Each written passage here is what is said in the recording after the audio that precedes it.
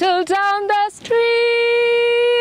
I know I took you all the way back to your kindergarten days, but right now, where we want to take you is to what happens after incubation in fish farming, tilapia to be precise. As you can see, I am enjoying my boat ride with Captain Were at the back. Captain, Hariana. Well done! So let us go straight there and continue with our fantastic series on fish farming. Another day, another fantastic feature right here at Kenya's Gold. Now let us talk about tilapia, a favorite delicacy in so many homes, not just for being tasty, I can see you nodding to that, but also because of its nutritional value, very high when it comes to omega-3 proteins, just to name a few. But do you know about the fish farming in Kenya, tilapia to be precise, as it is the most reared species in Kenya? If your answer is no, not to worry, because right here in Machakos County, Kamuthanga to be precise, we will be talking about tilapia farming. Come along with me, let us get started. Patrick. How are you? Hi. Karibu sana. Unaona tayari niko ready? Eh, Naona hata boots uko nazo. Niko na boots, niko na headnet. Karibu, karibu. What is the next thing? So the next thing is you're supposed to step into the footpath. Okay. So basically what we are doing, we want to make sure that uh, we are biosecure. Biosecurity is where we want to make sure that the final product we get at the end of the day doesn't have any biological hazard, doesn't have any chemical hazard or any physical hazard. So now that we are safe, can we get in? Yes, we can get in. Absolutely. After you. Thank you.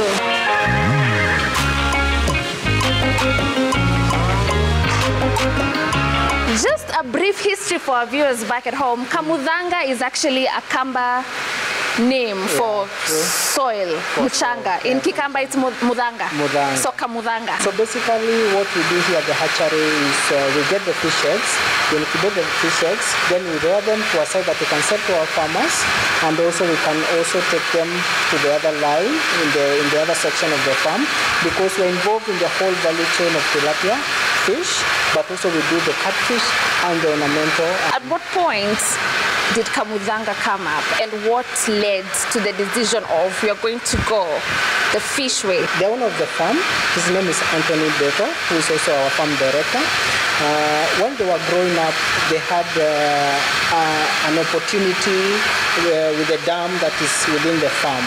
So when they were growing up as young men, they found the urge of putting fish in the dam. So they went to a fish farm in Sagana.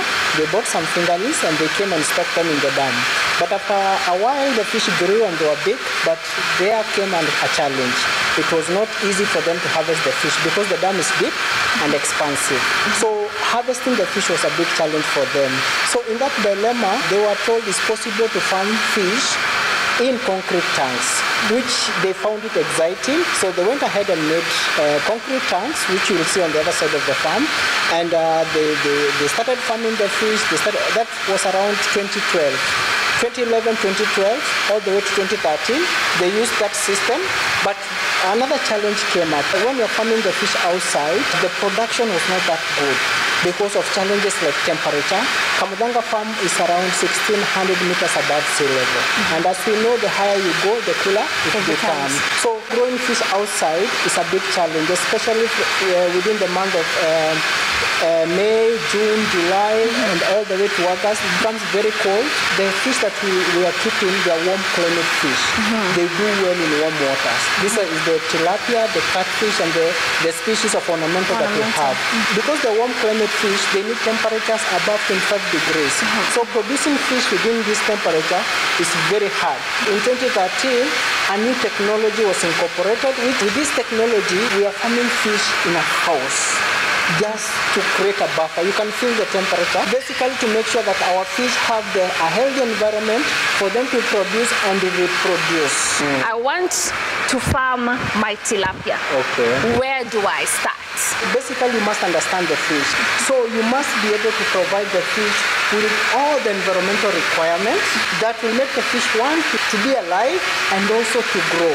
Because when it comes to the commercial side of it, your job is to make sure that your fish are growing every day. Every day are growing, so that you can have something at the end of the day. The water should also be adequate enough and it should also be fit for aquaculture. Mm-hmm. So when you have dug your borehole ama you are getting water from your river, you should take your water to an organization that can do composition analysis for this water, mm-hmm. bring it to a fish expert, he will look at the composition of this water and tell you whether you can use that water to farm fish.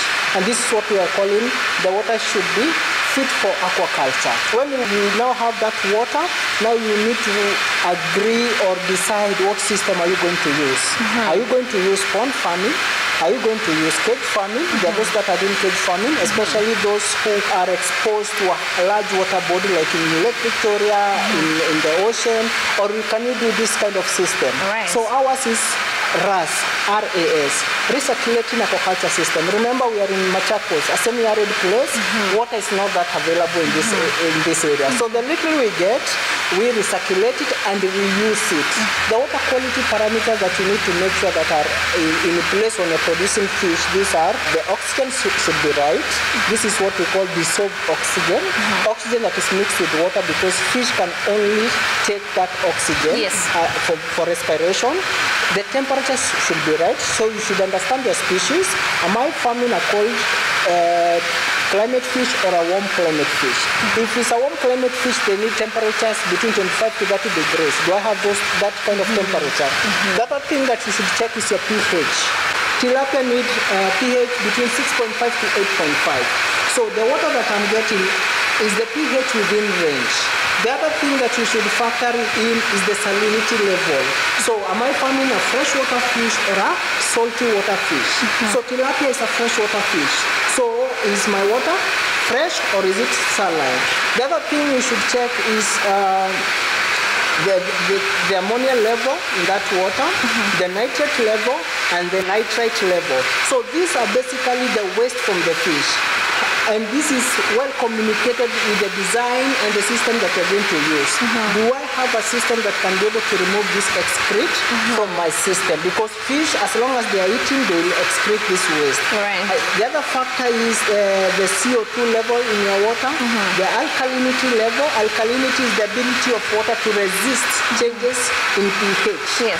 There's a young person somewhere who's watching and is very keen, mm. wondering where else can I get this sort of training to understand before I get my feet into this kind of agriculture. We have an academy, aquaculture academy, and this is where now we are willing to share our knowledge and our experience to those startup farmers or people who are still in the business but they're not able to do uh, to make it. How old are the fish in this part?